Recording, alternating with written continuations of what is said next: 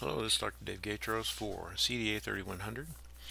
Today in LogiSim we're going to show you splitters. And to do that I'm going to illustrate that with a register. So I'm going to show you how to split out the data both input and output. We're going to start off with our um, register. We're going to say it's 8 bits, which is fine. That's what it defaults to. And in this register we have a um, um, we have a clock that we have to connect to. This is the uh, clock value updates on a trigger. So this is the uh, clear when uh, when one pin uh, value turns. So we're going to use the trigger right here. We're going to add a button. That's our input right here, a button right there. So to say button, and we have to say the button faces north. So move that back over here, and we'll say connect it to there. Now we're going to add a splitter on the right hand side. Splitters are kind of neat because what allows you to do, it allows you to take a group of bits and break them out into individual bits or vice versa and we'll do both on this one. So we're going to connect these two together and you'll notice that right now it's going to say incompatible with. That's because the splitter says it's only take two bits. Alright, well the bit width then is going to be 8 and we're going to change the uh, fan out to 8 also so we have all 8 bits. We're going to do the same thing on the other side. We're going to add a splitter. We got to make it change so it faces west. Okay. And let's see. Move it up here a little bit. There we go. Oop. Now it's incompatible with 2, so we're going to change that to 8 and 8. Now what we're going to do now is on this side we're going to put pins, on this side we're going to put LEDs. Let's do the LEDs first. And the LEDs right here and we'll put eight of them right there. Again my affinity to colors I like uh, uh, red when it's off or green when it's on. Okay and then I like red when it's off. Okay. Now what I'm going to do is I'm going to copy it. I'm going to do a Control C or Command C on a Mac and V and cut it and paste it.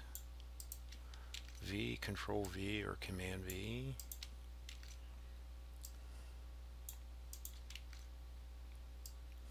This is going to be really cool, I promise you. Alright, there's six of them. Seven, and now 8 alright I'm going to select those. Oops. Select them and move them up so they're kind of in the center of that mass right there. That's good. Now I'm going to go over to pins because I want to um, have eight of those. I'll put uh, one uh, copy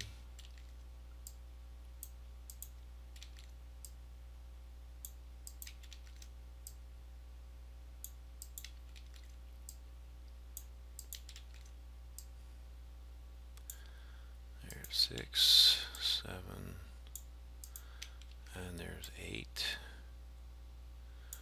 Okay, and again I'm going to copy, highlight these and kind of move them into the center right there. Now all I got to do is connect these up. I got to connect the pins on that. Now before I do that, I'm going to select these and they need to be facing west. All of them. Those faced east. Uh, or that's they face. Uh, excuse me. These should be facing uh, east. These should be facing west. That's all okay. So let's connect these up.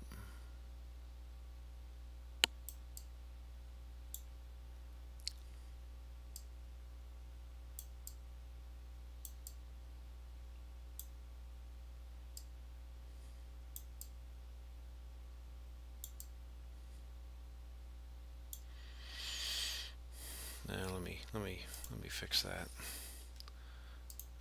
Messy circuits. There we go.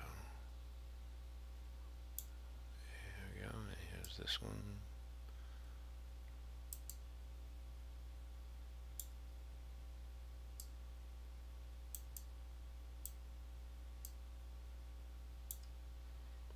And this is going together really well. It just takes a little bit long. It's it just uh,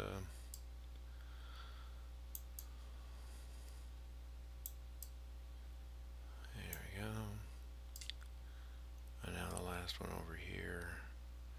Alright, now we have to do is connect up the red lights. And you can see where this is going. What I'm going to do when I'm done here is test it and what you'll see is when I press the button down below the um, data lights will turn to the corresponding on or off values that we input over on the left hand side.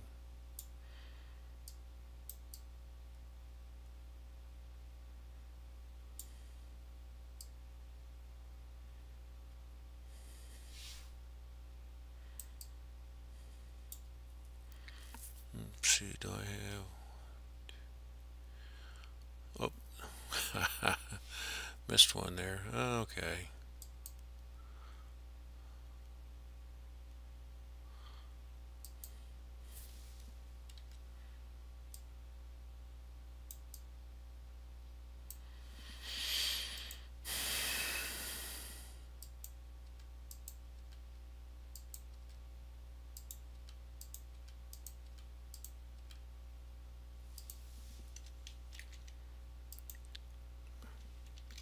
Probably saw that mistake. That's okay. Alright. Here.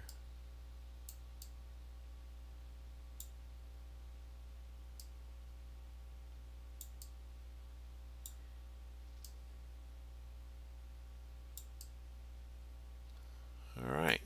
There we are. Alright, so assuming everything is okay, let's go to our poke Uh, value here and we will go over here and we will turn these on to some values.